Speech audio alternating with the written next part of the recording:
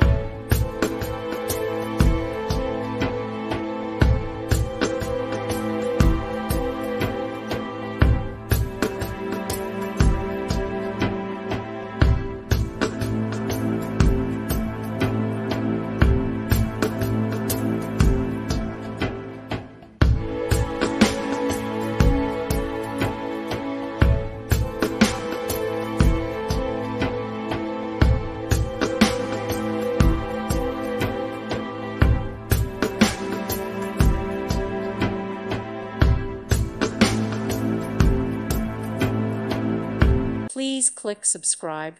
Thank you. Thank you for watching. Thank you, Jesus.